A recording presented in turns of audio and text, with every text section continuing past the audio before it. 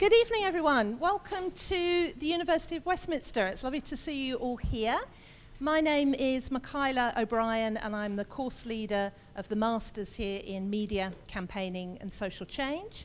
And it's a real privilege to be hosting this event tonight and to host George Lakey and his talk on winning campaigns in polarised times. I won't talk for long. We will get on to, to George's talk in, in just a moment. Uh, but it, it's particularly great to have George here and to have all of you, both students, former students, and a lot of people working in the not-for-profit sector and working voluntarily um, in activist and not-for-profit networks, because it summarises to me the, the whole ethos of, of the course, which is about collaboration and about sharing insights and sharing knowledge and, and working together. So there's a few members of the course advisory panel here in the audience, and I want to just do a bit of a shout out to them and thank them for being here and contributing to this collaboration. So we've got representatives from SumOfUs over there and from Friends of the Earth.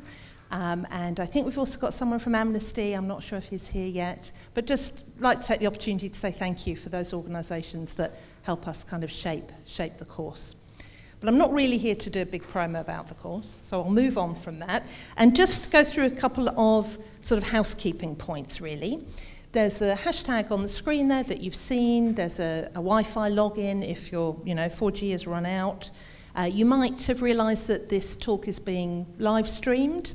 Um, so we are going to have a question and answer session at the end. If you'd rather not be live streamed and filmed asking a question, you can always tweet it using this hashtag.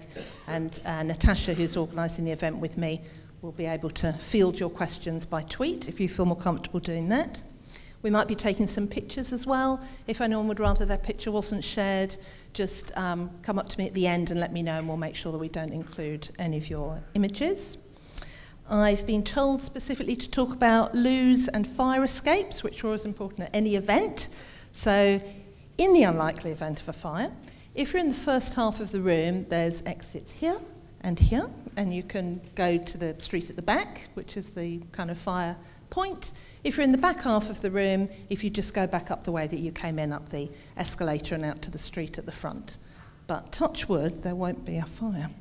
Uh, toilets you may have seen, in fact, on the way in, women's toilets halfway up, men's toilets at the top, but we're only here for about an hour and a half, so hopefully that won't be information that you'll need.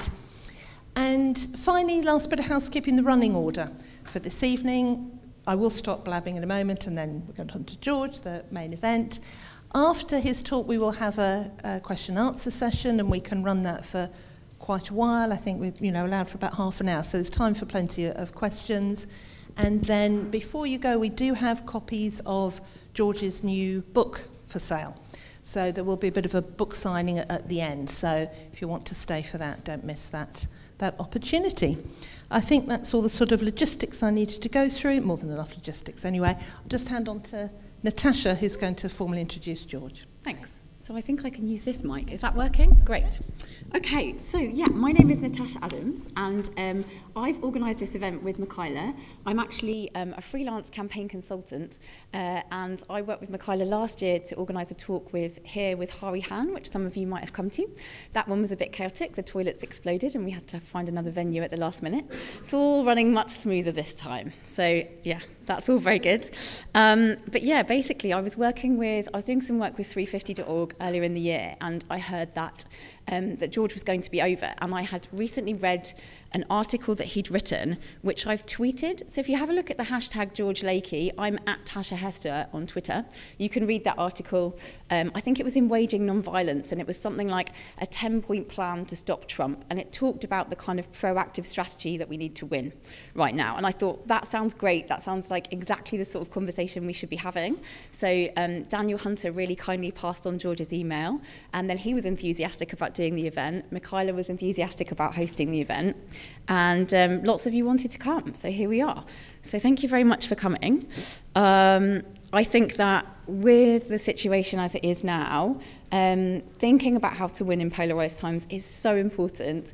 And things really do go in cycles. And there are lots of lessons that we can learn from kind of social movements in the past and things that have worked elsewhere. And so I know that George is going to be drawing on his experience from some of those and also talking about um, the Scandinavian countries and what they did in the 20s and 30s, um, which is quite interesting and not something that I know very much about. And I think is also mentioned in his book. Um, so yeah, I guess you probably all know a bit about who George is, otherwise you wouldn't be here. Um, but he founded uh, the amazing Training for Change, uh, which the training I really want to go on. It's happening in the UK again. Campaign Bootcamp are running it, so they're taking applications now, I think.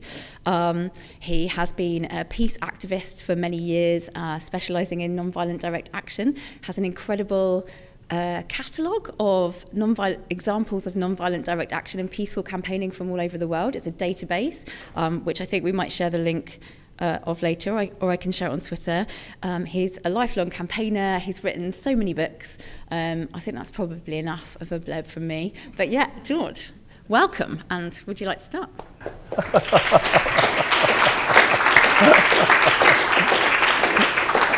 thank you, thank you, thank you. What a treat to be here.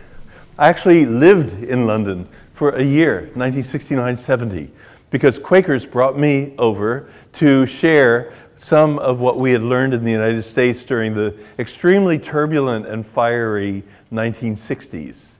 And so I had the luxury of spending uh, a, a, whole year, not just as in this book tour, you know, a, a few weeks, but I, I, had lots of opportunity to move around the UK and uh, get to know people. And since my forebears on my father's side come from this part of the world, it was a, a special coming home. And it feels like a coming home again for me. So thank you very much for inviting me, Michaela and, Nash, uh, and Natasha. When I started on the path that led to the book, Viking Economics, I had no idea how relevant that book would turn out to be for this political moment. Actually, when, when it really started was very long ago when I fell in love with a Norwegian foreign student who was studying in the United States. And uh, I don't suppose we ever imagine that when we're falling in love, there's going to be a book that comes out of it. But anyway, I certainly didn't. And uh, fortunately, she fell in love with me as well. And so we, uh, we got to spend a couple of years off and on together while she was studying. And then she got her degree, and uh, just before she got her degree, she agreed to marry me and then left and went back to Norway. So it took some doing. I was a poor student working my way through college and I had no money from a blue collar family, small town, rural Pennsylvania. And there was lovelorn me, if you could picture. And uh, I guess we have all had our moments. And anyway, uh, missing my beloved, and there she was across the ocean. And there was my grandfather noticing me and deciding to give me a ship's ticket so that I could get on the ship and go to Norway. Five days after getting off the ship, we were married, which incentivized me to learn the language of Norway because for one thing, I was curious to know what it was it I agreed to that the priest said during the ceremony. So that was a very powerful incentive. And, and then another one was that her, um, her family didn't speak English. So it was on me to learn how to speak Norwegian and in order to make friends. And so I really, really worked at it. And what I noticed during that year, one thing after another, stranger in a strange land kind of situation, was that they really had a very, very different economic model from the one that I'd been brought up in. Very different approach. Different assumptions about what motivates people, and different assumptions about what enables people to be highly productive, and different results to show for it. This was 1959 when I encountered Norway, all right? And they were still rationing from the days of World War II when there had been German occupation, as you know, and uh, the Germans, as they left, did a scorched earth policy and burned and uh, destroyed a part of the country. And so it took and, and the, it, Norway had never been rich. It had always lacked um, resources, so it was always the poor cousin of Sweden, which was much more hefty. And so the recovery was very, very difficult for them. And as late as 1959, they were still rationing. So my father-in-law, who was a gardener, had to get permission from the government to be able to buy a new car, a new station wagon for his business. So that's how they were eking things out. Nevertheless, they had decided to prioritize getting rid of poverty. And they'd gotten so far along in abolishing poverty that I had to search high and low to see any signs of poverty left. They'd gotten rid of their ample slums in uh, the city of Oslo and substituted excellent uh, public housing and so on.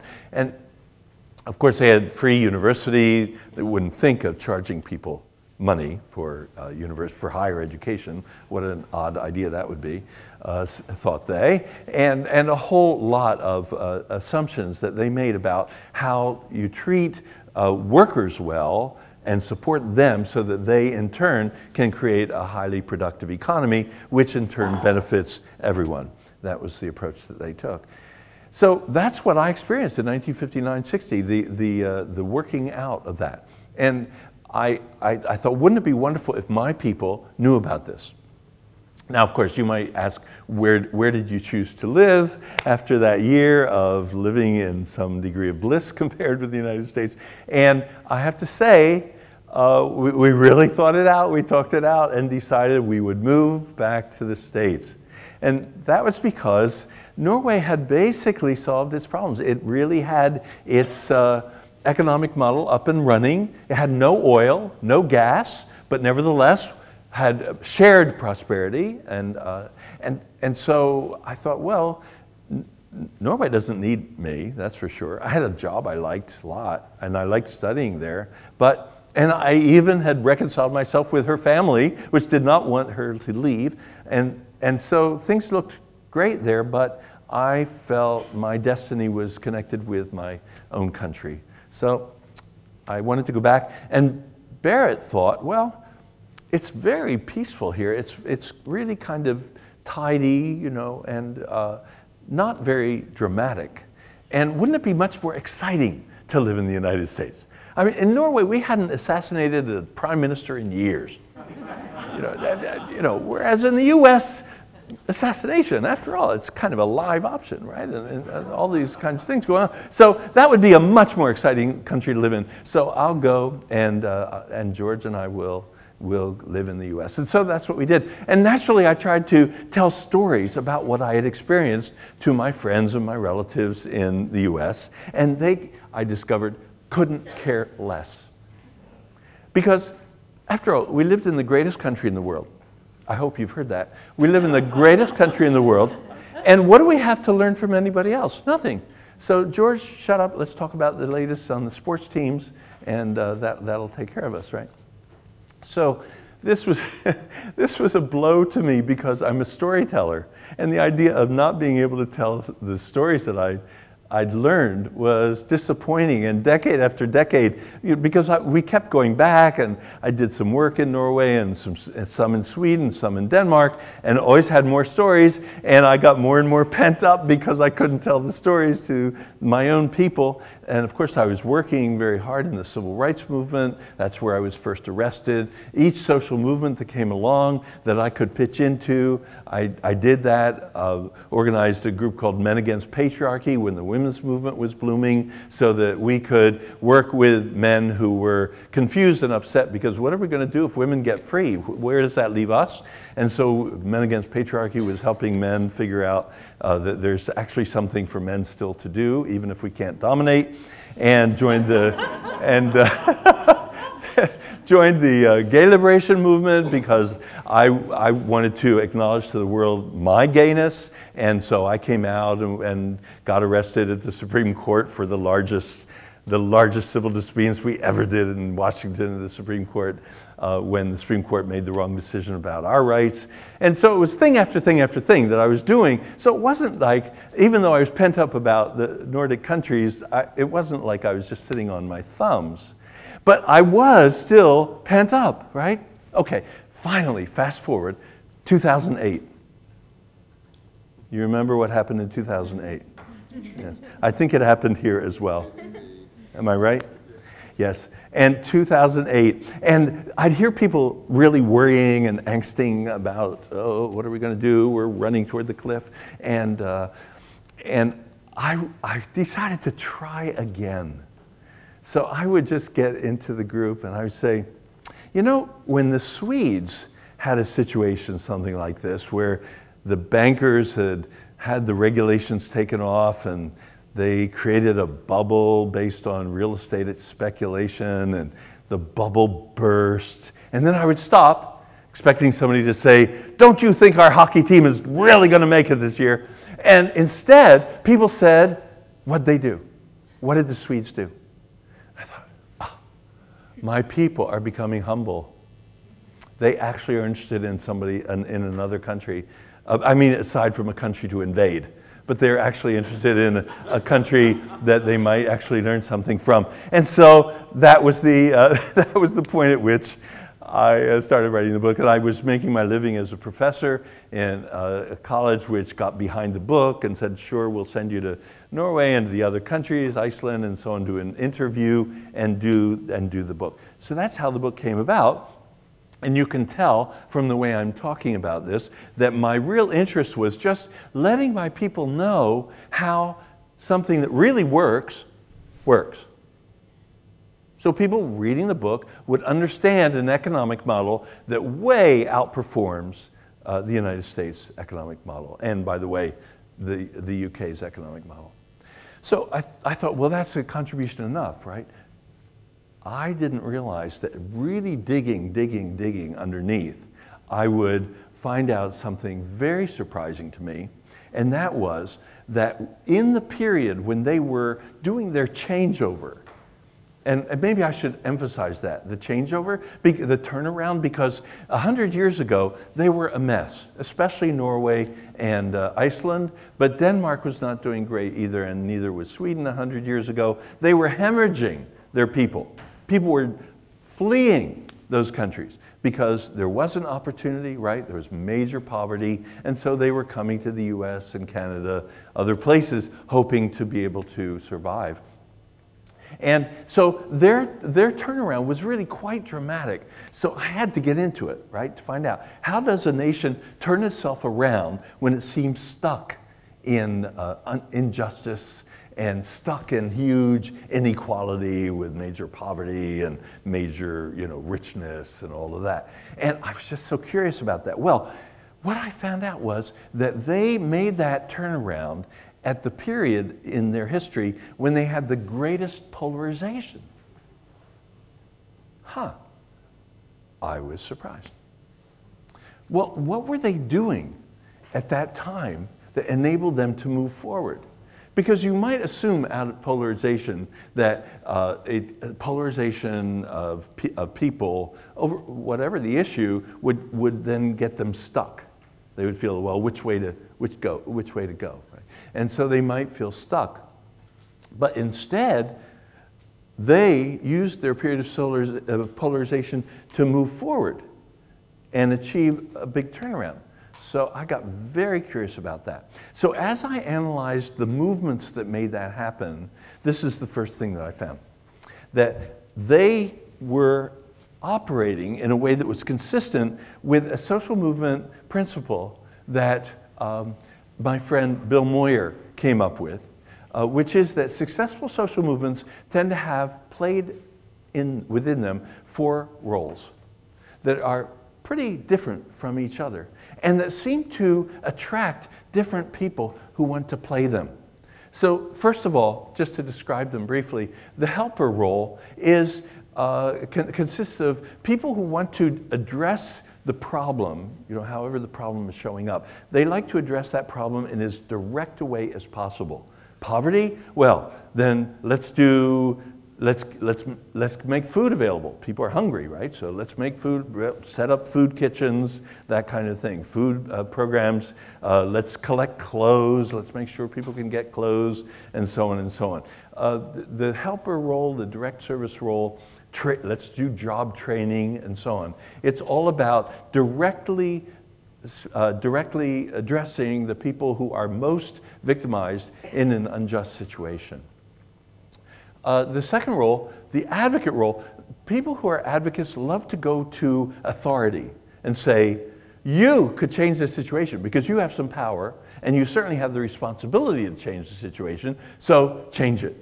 So these are uh, often lawyers or people who are um, uh, people who, for one re reason or another, have a relationship with people in power and like to address those. Know a politician or, or are able to wend their way to some politician and say, change this.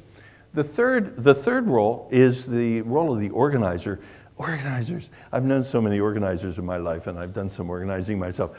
Organizers uh, love to get people working together. And sometimes it doesn't even matter what they're together about. It's just so lovely for an organizer to see lots of people, right? And what really delights an organizer is if we have this many people tonight, that tomorrow night we have more than we had tonight, like that kind of thing. So organizers love to move people together. And then finally, there's the rebel. The rebel uh, role is to make trouble for the system and to disrupt the system strongly enough so that uh, th there's change because the system simply can't keep going on the basis that it's been going on because it's too uh, dislocated. It won't work anymore.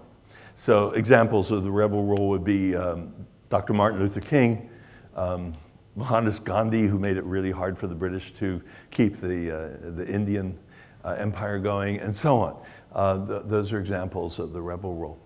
So, all, so what Bill Moyer claimed was all four of those roles tend to be played out in successful social movements. So of course I was looking for that in the Norway, Norwegian, Swedish, and the other experiences, and sure, I mean, there was Bishop Grundtvig in, uh, in uh, Denmark saying, co-ops are the way, co-ops are the way forward, and using the folk high schools, which he invented, in order to push more and more people to use uh, cooperative uh, cooperative institutions and other new economic institutions in order to be building things that could work. Um, organizers, of course, would get involved in that as well because it brings people together. Um, the, the advocate role, yeah, they decided in each of the uh, four countries that I studied, Iceland, Sweden, Norway, and Denmark, they decided it would be useful to have a political party that would represent our movement, um, but let's make sure that that party is accountable to us. Because if we don't make sure of that, the thing about the thing about people who get into slots like, say, MP slots, is that they start thinking for themselves, or they start uh, being accountable to the economic elite. And we don't really want them thinking for themselves or being accountable to the economic elite. We want them accountable to us because we're the ones who are feeling it most strongly and who are doing the work. So they created uh, parties to, uh, to, advocate for them in the parliamentary setup, but they didn't at all expect that that would do the job because they needed to have organizing people in larger and larger movements who had the potential through campaigns to exercise the rebel role and make it impossible for those countries to continue without making a major change. And so that in short, was the, uh, was the, the Nordic story that I learned about. Took a lot of probing to find it out, especially in Norway. People were very reluctant to talk about, uh, to talk about how hard it was to make the change. They didn't want to tell about troops being called out, you know, to suppress uh, movement people. Um, Sweden was the most dramatic situation. In 1931, when the troops came yet again to put down the workers, uh, there was this large group of uh, unarmed demonstrators that troops shot and, uh, and, and killed uh, and wounded a bunch. And then Sweden erupted with a general strike, which is one of the biggest things rebels can do, right? And uh, the general strike brought down the government of Sweden, pushed the economic elite out of dominance that's key. And then there was the space created for them to invent the Nordic model. and they were inventing it for the first time, let's face it. Nobody, at least nobody I've ever found in history, has ever used the, uh, the economic model that was invented by the Nordics. And it turned out to be the best, the most successful model ever done historically. But they needed that political space in order to invent it. And in the, Nor- in the Norwegian case, it wasn't such a dramatic moment. It was year after year after year. And in my book, I tell the story of, uh, you know, one year it would be so many strikes, the next year more strikes, more strikes, more strikes, more strikes, until the uh, economic elite said, okay, we better sit down and work something out because you have made our, this country ungovernable. And so that's, again, the rebel energy uh, playing a role. Well, let's look a little bit more at this question of polarization. Since uh, polarization is what was going on in the Nordic countries at the time, they had Nazis marching in their streets. Uh, and you, you had Oswald Mosley, right? You had, you had uh, a fascist equivalent going on here at the same time. Um, and then they also had communists organizing for the dictatorship of the proletariat. I'm wearing my red. And so, you know, so there was all that going on. Okay, well, uh, what, what seems to be happening with polarization these days and for quite a while, and I'm not saying it's the only reason for polarization, but it does seem to be uh, the most consistently, uh, the, the, the variable that most consistently shows up associated with polarization is economic inequality. Uh, well, in my country, everything's set up for, even though we have historic levels of inequality, we're going to get still more and still more. Even somebody with my long arms is not going to be able to describe it. And uh, I've been asking it during my time in your country, what's the setup here economically? And I'm told it's, it's uh, essentially the same, that uh, everything's set for more and more and more and more inequality. So if this is true, then that means more and more and more polarization. And of course, polarization manifests itself in very ugly ways. We're ahead of you in that way, I think, in terms of sheer ugliness, uh, and, and uh, now we're killing people um, in, uh, as a result of polarization. The Charlottesville um, uh, uh, killing was illustrative of that. So that's going to go on. Okay, well, uh, at least in my country, people I know, there, I know a lot of people who are saying, this polarization is so terrible, we can't move forward, so we have to somehow mend our fences. We have to somehow find unity in order to be able to move forward. Well, that's not the Nordic uh, uh, experience. The Nordic experience was at their most polarized time was when they made their breakthrough. So, hmm, what's going on with that? Maybe what polarization really does for us, even though it's very hard on us, maybe it, what it does for us is it creates the heat that we need, the volatility that we need, the shakeup that we need in order to reorganize. Theoretical physics teaches us that uh, following chaos comes a new order, right? It may not be the order you want. It may be the order that they got in uh, Germany, or it may be the order that they got in Italy. But it may, on the other hand, be the order they got in Norway and Sweden. So uh, maybe agency has something to do with the kind of order that comes out. That's my argument that it does. Uh, and that the Norwegians and Swedes were very smart about how they dealt with uh, with um, the, the fascist threat, especially. And the, the German left and the Italian left were not smart about how they dealt with the, uh, the fascist um, tendency there. Nevertheless, uh, if you've got motion, then you've got the chance, if you're a blacksmith, to make a horseshoe. You don't have much chance to make a horseshoe with a cold piece of steel. Um, the polarized US in the 30s finally hit me. I mean, I'd heard so many stories, you know, from when I was a youngster. I was always asking people, tell me more about the labor movement, tell me more about so and so. It was terribly polarized time. The Ku Klux Klan was riding hard, right? Lots of Nazi and fascist uh, uh, goings on. Um, and at the same time, it was the glory period for the Communist Party in the 30s in the United States. Um, I'm told that your Communist Party did very well in the 30s and then even, even better in the early 40s. Um, and, and so uh, these, were, these were polarized times. And, the, the, uh, and they, were, uh, they were times when things moved forward in our societies as well. So you had that big effect after World War II, right? When you got some real gains. And, uh, and, same in uh, my country, we got some real gains out of that period of polarization. And then in our case, I'm not sure about your case, but in our case in the 60s and 70s, we got some real gains again. That was the birth of the women's movement, the second phase of the women's movement.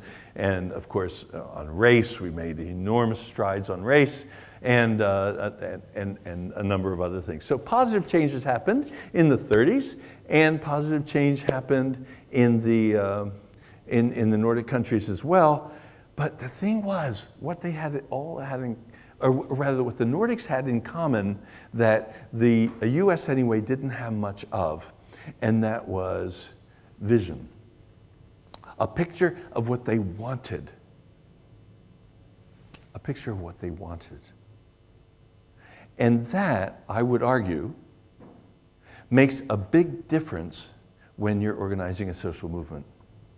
If you're mainly reacting to things that you don't like, which is what protest very often turns out to be, it's very hard to build on it. It happens, and then it doesn't, and then it happens, and then it doesn't. It tends to be episodic.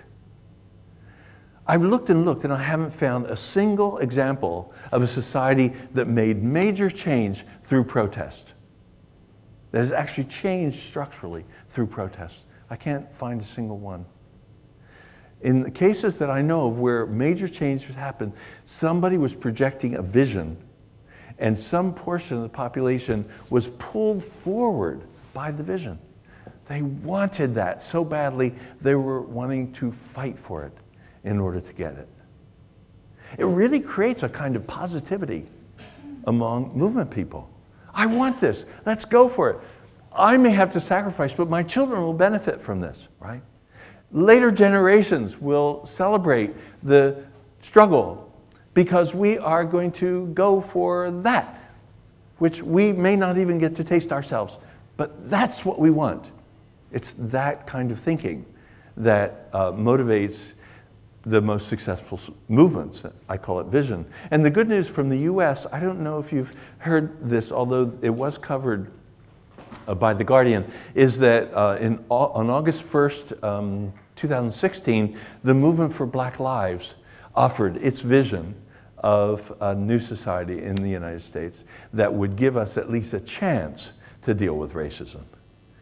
And as you know, racism is so endemic. It's it's a part of our, the founding of our country, moving in on the native peoples and stealing their land and killing them and so on. So um, it's, it's just so embedded in the American story that uh, there, there's not going to be any overnight solution, but the movement for Black Lives people realized that if we're, if we're going to have any chance to make serious reduction of racism beyond what we did in the 60s, then we're going to have to tackle the economic institutions.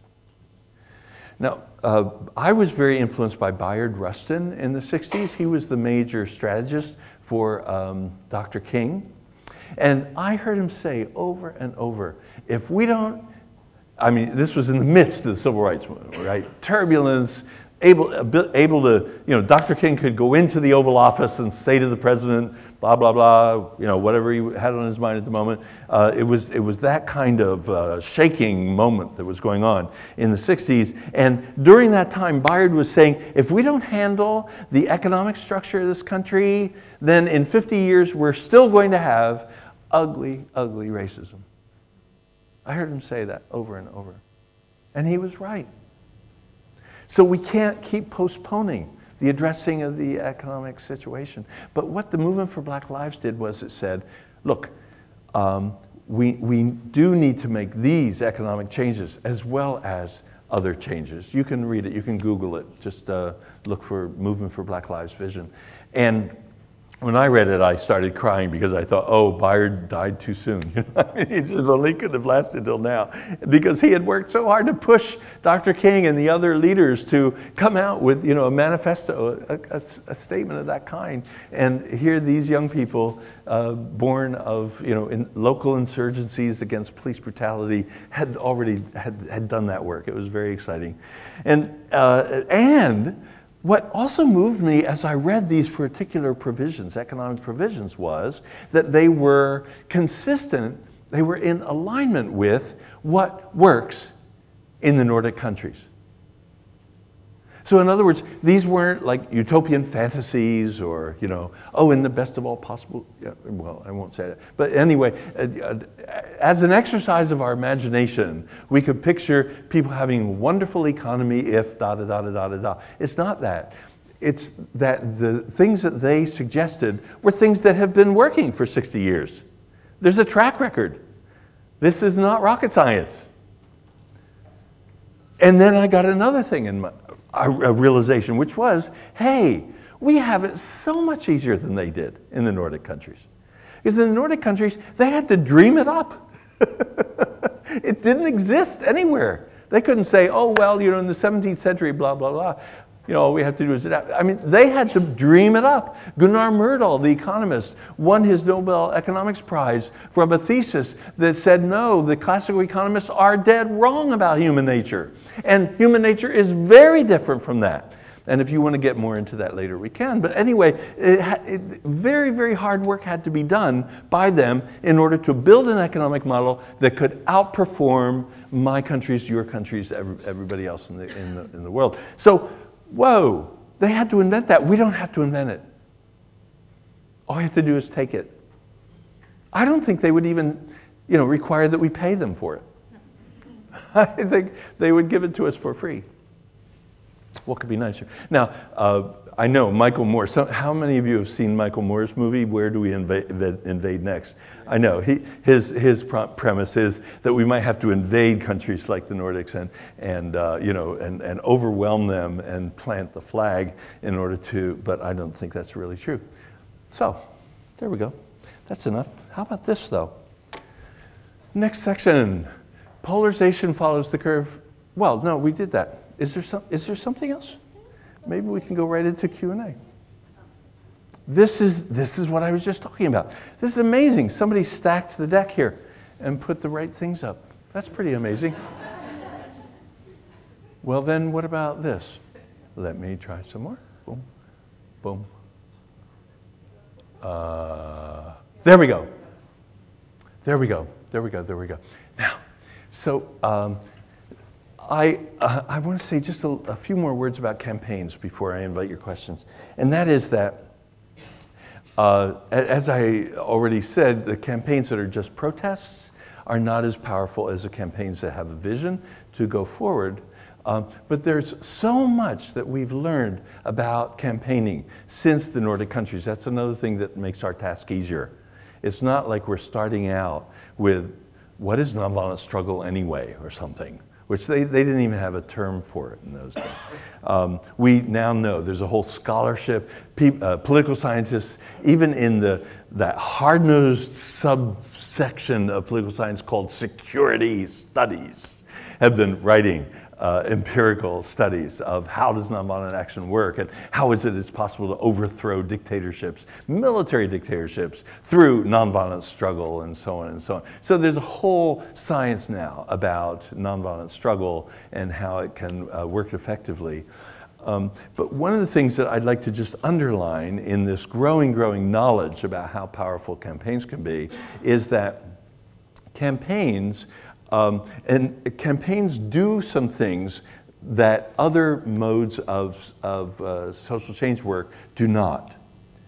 Okay, so you're saying uh, in your mind, George is a rebel and he's going to sell his favorite thing. True, you got me. Uh, that is my favorite role. Although I've been an organizer and advocate and helper, but I will admit that when it comes to power confrontation, with those who rule society. There's nothing like having power to meet power. And that's what campaigns can generate. The activist group that I'm part of these days, I'm always part of an activist group. Uh, this time it's a, it's, an, it's a Quaker group. It's called Earth Quaker Action Team. E Q A T, Earth Quaker Action Team. Uh, that's because we want to be earth, we want to be earthquaking in our results. we want to do action, action, action. And we want to be a team because I don't know what you've heard about the US, but we're full of individualists over there. And we need to keep saying, there is no I in team. We're going to work together on this. Okay, so we're this, we're, so with this little group. And we started in a living room and we decided that we were going to force the seventh largest bank in the country out of financing mountaintop removal coal mining. And uh, friends called me and said, George, now you really have gone off the rails because a group that starts in a living room is not going to do that. I said, oh, we'll see, we'll see, we'll see. It was, the, the bank we chose was the number one financer of mountaintop removal coal mining. And I don't know how well publicized that particular form of coal mining is over here, but we already destroyed 500 mountains in the United States by blowing them up with dynamite in order to get the, uh, to get the coal. Twice the cancer rates uh, of, uh, for people in those areas, birth defect rates up and so on. I mean, huge disaster for people in terms of their health and in terms of the, the uh, climate, of course. And so we thought, wouldn't it be cool to force this bank out of the business? So we went to see the president of the regional uh, you know, part, and we told him the Quakers were coming after them.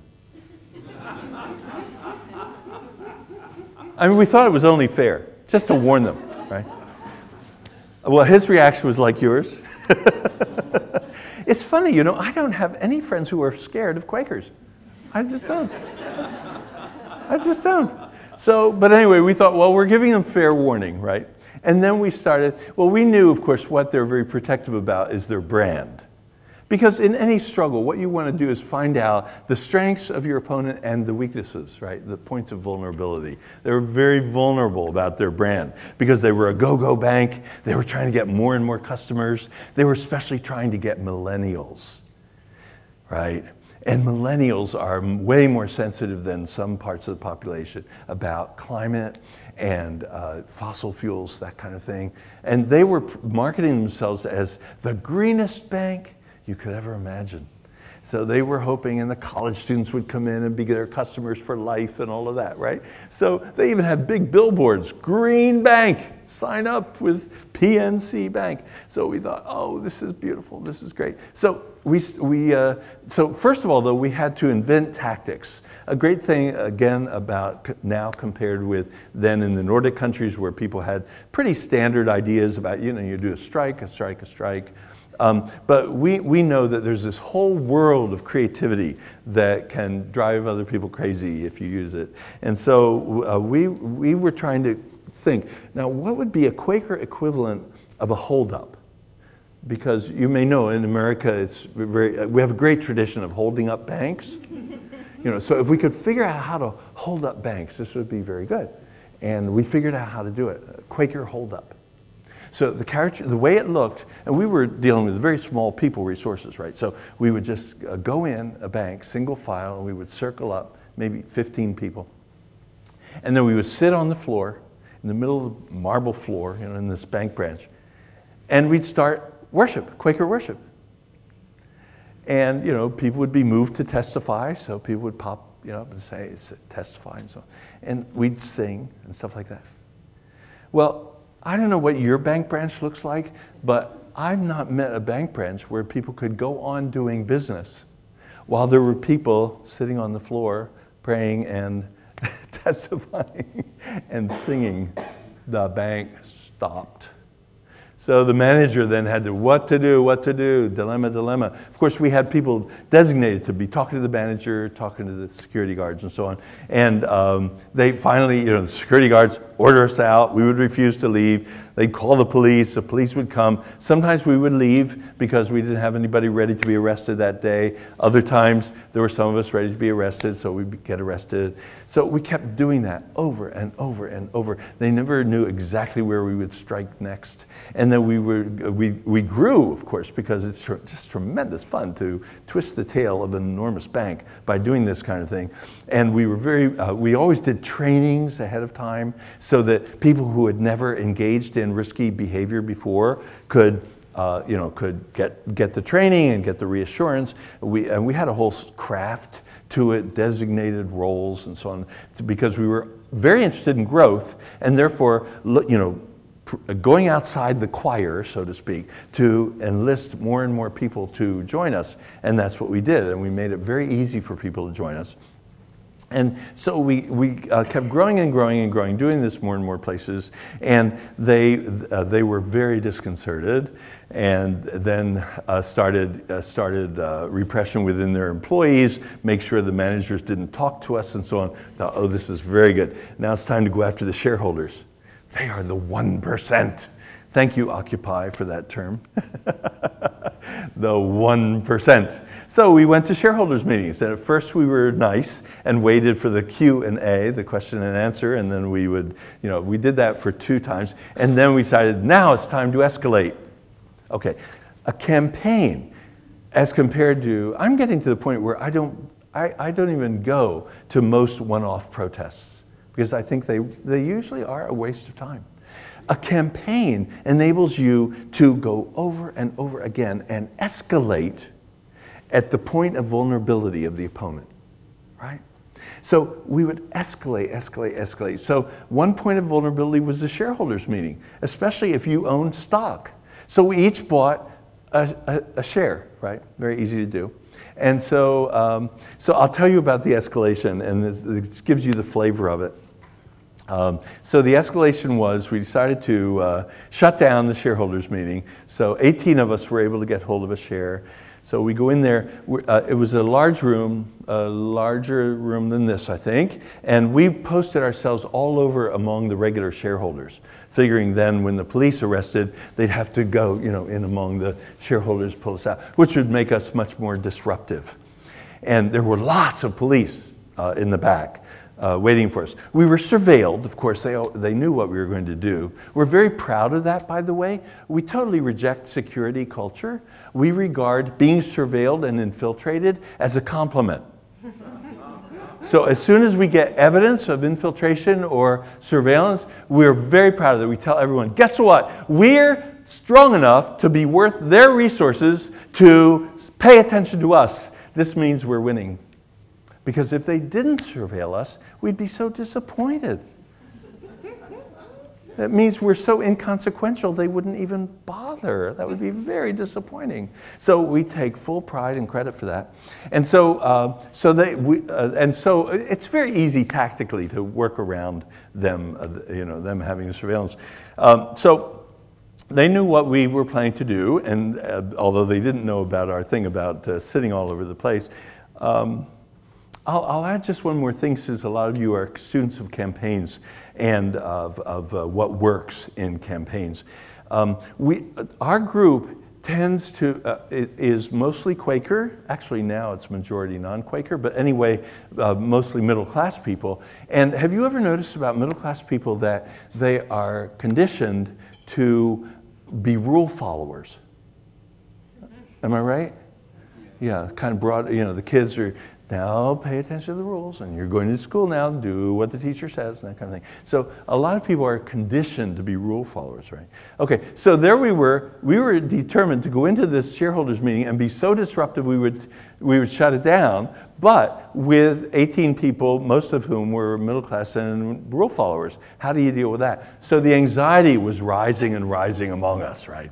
So uh, we go to our coach. Oh, another campaign point uh, I don't believe in having a campaign without a coach. You need a coach. You need somebody who's like stepping one step back and understands the group and its goals and so on, uh, but is like a consultant, you know, who can be gone to to give advice and counsel. So we go to Daniel and we say, Daniel, this is Daniel Hunter, who has a wonderful book out called Strategy and Soul. Anyway, uh, Daniel, we go to Daniel and we say, Daniel, we have all this anxiety. What should we do with it? And he thinks for a minute. He says, okay, so, okay, you're Quakers. I would say that Quakers are very good at meetings. Am I right? Those of you who are Quakers will know. Yes, we are very good at meetings, sometimes deplorably good at meetings. Sorry, meetings. meetings. Quakers are good at meetings. So he said, okay, then go with your strength. Just go in there and have a meeting. Have an agenda, know who's going to speak to each item. It's just that you happen to be having your meeting for business at the same time as they're having their meeting for business. No problem. Oh, thank you, Daniel. So we went in with a lot of assurance because we were going on a skill that we already had, right? So we go in there and we're sitting all over the place. And the, uh, the CEO is up on the stage with a, a, bunch of the officers of the corporation and says, okay, we'll have the reading of the minutes. So the secretary gets up and starts reading. But that's just the moment when our agenda item is called for, right? So somebody pops up and starts doing our agenda item very loudly, by the way, and turning to the whole, address the whole shareholders. So there's the CEO up there. What shall I do? Shall I have the police cl- clear them out now? And just as he's about to do that, that person sits down. Oh, visibly, the CEO is relieved. Oh, maybe they're done. This is their disruption thing, right? All right, we'll have the reading of the treasurer's report. So the treasurer gets up, you know what happens, right? it's on and on and on. And the CEO is, is sitting up there. I almost have pity for him. Poor man, I mean, poor billionaire. And finally, and finally, he throws up his hands. I mean, I've read this in novels that people throw up their hands, but I had never seen anybody. Have you ever seen anybody in real life throw up their? He did that. He threw up his hands and said, "This meeting's adjourned." That was after 20 minutes of an hour and a half meeting. we were all stunned. The shareholders were, but we were as well. We didn't expect such a quick victory. And then people started getting up and heading for the exits. And as we did, my daughter, who was one of the 18, starts singing, This little light of mine, I'm gonna let it shine. It's our, it's our theme song this little light of mine. So we're all headed, of course, joining in with her. I'm going to let it shine. Headed toward the exit, I look around, a bunch of the shareholders are singing, This little light of mine. In other words, disruption can be quite a, a merry sort of affair. It can be very hard, but it can also be uh, yet one more opportunity to express the positivity that is basically motivating us. It's not hate versus hate. You know, it's not, oh, I'm so angry with you and you're so this to me. It, it can be something of a very different flavor that mirrors what our values are. And that's one of the things that we can learn about campaigning. That if we're able to incorporate, incarnate, you could almost say, incarnate our values in the way that we operate, we make ourselves actually quite attractive to others who want to join us, and also di- uh, disabling to the people who are threatened by us. And that's one way that you handle even military dictatorships nonviolently by disabling the threat and by attracting more and more people to be on your side. Okay, so when you have a campaign, uh, a successful campaign, other campaigns come forward to, um, to do the same thing, right? There are multiple campaigns that we see that in the civil rights movement. There's so many examples. The anti-nuclear power movement. It's happening now in this country with regard to the divestment movement, right? Campaigns beget campaigns, inspire, inspire other campaigns. And when you have multiple campaigns, you call that a movement, right? The thing is that that often spurs other people to have campaigns about some other issue, right? Because, well, there's people over there getting something done, so maybe we should be, so the campaign's on this thing, and campaigns on this thing. And that's what Uh, that's what was going on in the Nordic countries, and that's what I lived through in, in the US. Multiple campaigns, which together then create a movement, but then you've got simultaneous movements going on around. Now, here's the trick, and it is a trick. It's, it's not clear uh, ahead of time. I don't know a formula for this. Uh, how to get the movements to work together, right? Because they tend to be uh, issue specific or uh, demographically specific, right? So, for example, in the US now we have the Black Lives Matters movement, but we also have the Dreamers, who are based mainly in Hispanic or Latino or Latinx uh, group, and so on and so on. So we tend to have these. So the question is how to get the movements to work together. And again, vision can really make a difference to get a common platform that enables people to work together. And when that happens, you get a movement of movements, a movement of people's movements. That's when the 1% really starts to sweat. That is what they are terrified of doing. That's what was going on in the 60s and 70s to the point where there needed to be the Margaret Thatcher and Ronald Reagan counteroffensive in order to shut you people down and in order to shut us people down. And that's what they did to some degree. Why did that happen? It happened because a lot of the movements responded to Thatcher and to, uh, I, you, will know your own particulars better than, way better than I, but certainly in the US, a lot of the movements responded by going on the defensive.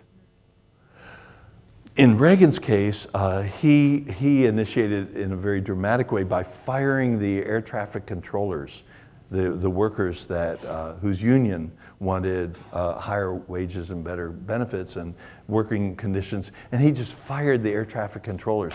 I, I don't know about you, but when, I, when I'm in an airplane, I just assume that there be air traffic controllers. I mean, it just, I feel safer if somebody knows what's going on. You probably do too. And it was a very dramatic act, right? But it was the shot across the bow from his point of view. It was like, okay, now we take the offensive again. You, people's movements have been taking the offensive. We are going on the offensive. We need to push you onto the defensive. And it worked. Our labor movement went on the defensive and you know the, the, you know what happened here, and the, the women's movement went on the defensive, and civil rights movement went on the defensive, and the environmentalist movement went on the defensive. Movement after movement after movement that had been kicking up a storm in the 60s and 70s went on the defensive. Now, Gandhi and military generals agree on this strategic point. Nobody wins anything on the defensive that needs to be on the ceiling so when you wake up in the morning, you see it on the ceiling. What do you mean by on the defensive? Trying to hang on to previously achieved gains. Right? Well, we got this far. In the women's movement, say, we got the right to abortion. Well, then it, going on the defensive means trying to hang on to the right of abortion. And what happens on the defensive is you lose, lose, lose, lose, lose, lose uh, in steps as they push you back. And that's happened to the labor movement, happened to the women's movement with regard to uh, abortion and reproductive choice, and so on. All, all the major movements, except for one. One movement kept winning and winning and winning ever since 1980, and that was the LGBT movement. Right? I can't tell you how amazed I am still that we've made the progress that we've made. Right? I mean, if you'd asked me in, say, 1960, so George, are you, are you going to you know, achieve this and that and this and that in your movement? I would, no way. I mean, the bigotry against homosexuals is, Uh, uh, what, 10,000 years old or something. You know, it's, it's lost in history how long it's been, and it, we're going we're gonna make major strides against that. We are killed. We are killed. There, there are people whose sport is gay bashing. I mean, that is what goes on, and we're not going to make that kind of progress. Well, progress. George, you're in Britain now. Progress.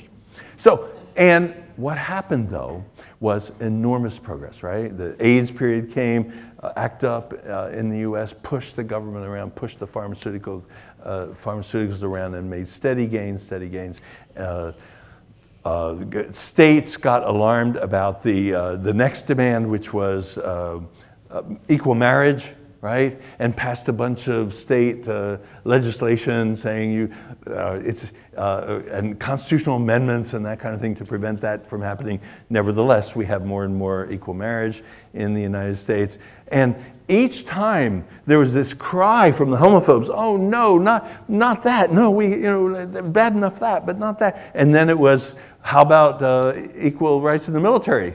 Oh, not the military. Come on, we need that as a preserve of heterosexuality. Oh my God. You know, the thing's crying and weeping and, uh, right, right, right.